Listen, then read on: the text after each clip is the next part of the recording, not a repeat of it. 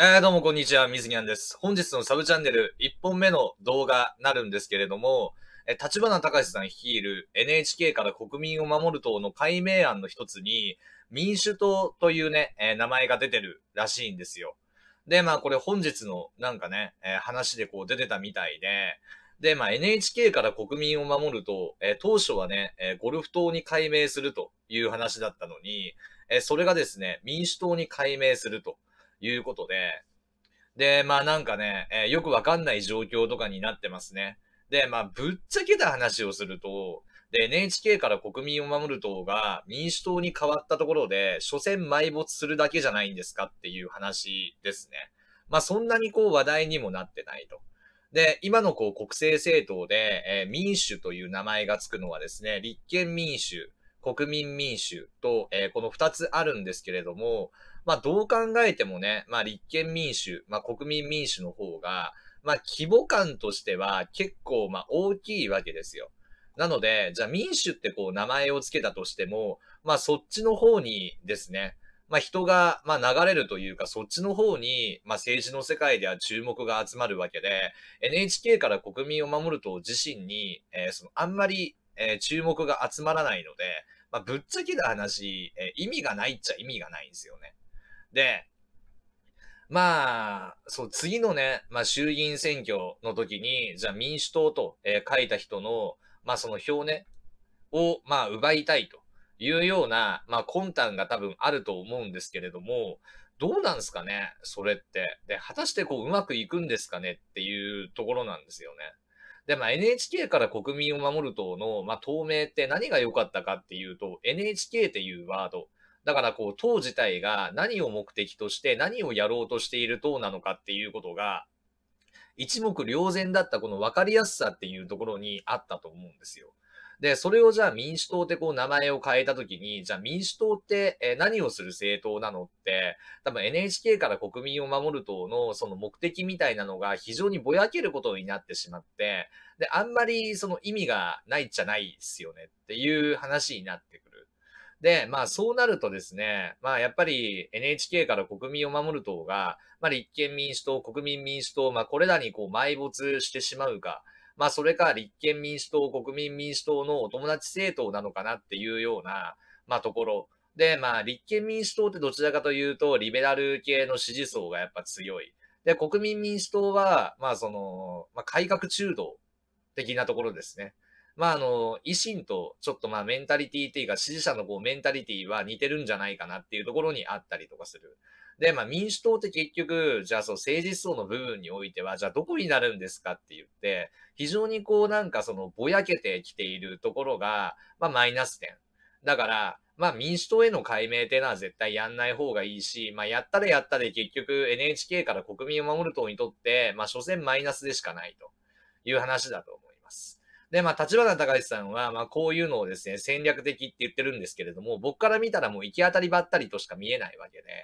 で、まあ、なんとかですね、まあ、次の衆議院選挙にこう向けて、少しでも、えっ、ー、と、党の話題性、そして、えー、注目度を上げていきたいというような、まあ、魂胆なんだろうけれども、まあ、その戦略っていうのもね、実際のところ、まあ、限り、限りがこう出てるというのが、まあ、実際問題の話なんじゃないかなと。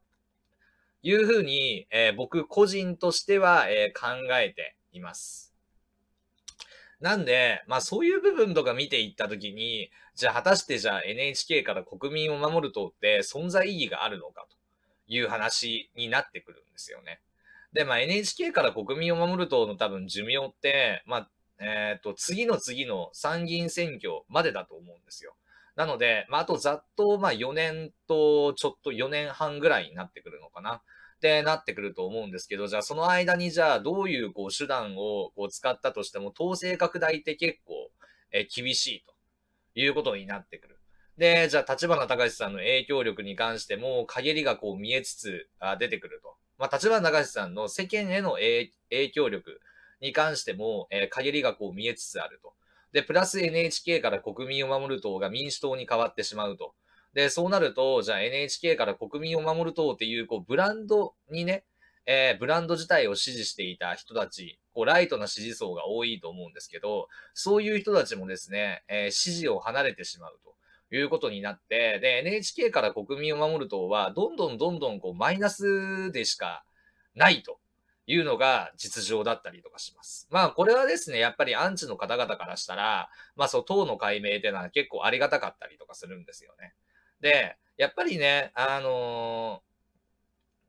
強い政党とか選挙で強い政党っていうのは透明っていうのはあまり変えない方がいいというか変えないんですよね。なんでかっていうと、透明を変えてしまうと、なかなかですね、市民、有権者の人たちに対しての認知度がですね、拡大していかない、上がらないわけですよ。だって、あの、実際こう、新党、新党って新しくこうできた党って、まあどうしてもこうなんかね、えー、最初の選挙とかではご祝儀票みたいなのが結構入って期待感とかで票が入るんですけど、で、2回目のそのね、国政選挙とかになっちゃうと、で、どうしてもですね、えー、勝ちきれないと、どうしても票が落ちてしまうというところがあるわけで、で、まあ NHK から国民を守る党も、まあ昨年の参議院選挙の時、あ、なんか NHK のワンイシューで戦ってくれる政党があるんだというね、えー、国民の期待感、まあ、それが、えー、結局票として現れたという結果なんですけれども、まあ、今のところじゃあ NHK に対して、じゃあ何かね、えー、改革案とかぶつけてこう戦ってるのかって言われ、言われたら、まあそういう部分に関しては一切まあ出てきてないというような、まあ感じなわけで、で、そういうところで、結局 NHK から国民を守る党がどんだけこう話題性、注目性で突っ走っていったとしても、やっぱりその国民が見てくるのって、じゃあもうあなたたち国政政党なんだから、じゃあ中身を見せてくださいと。NHK から国民を守る党は国会で何をやってるんですかと、そういうところが結構大事になってくるんだけれども、ね、立花隆さん自身は、まあ、党の知名度を拡大させていく。で、注目度を上げたい。で、まあ、話題を作りたい。まあ、そういうところで結構国民の意識と乖離をしているというような、えー、実情だったりとか、まあ、してます。で、まあ、今回ね、まあ、民主党に変わったら変わったで、まあ、NHK から国民を守る党自体は、まあ、より落ちていくと。で、なるし、で、えー、まあ、名前を変える意味、えー、特にないメリットは何もないというのが、まあ、現実だというふうに、え、僕自身はですね、え、考えております。まあ、今後のですね、まあ、その党がこう名前を変えたときに、まあ、多分来年の1月の1日あたりに、まあ、多分変わるんじゃないかなと。僕はまあ見てるんですけれども、そう変わってからのですね、まあ政党支持率の推移とかまあ見ると結構面白いデータが出てくるんじゃないかなというふうに、まあ僕は予想しております。ということで、えー、皆さんね、本日の、えー、動画なんですけれども、もし、えー、この動画を見ていいと思った方はですね、グッドボタン、そしてチャンネル登録の方、え何卒よろしくお願いします。ということで、え、皆さん、え、以上、えー、水にゃんでした。本日の動画ご視聴いただきまして、ありがとうございました。じゃあね。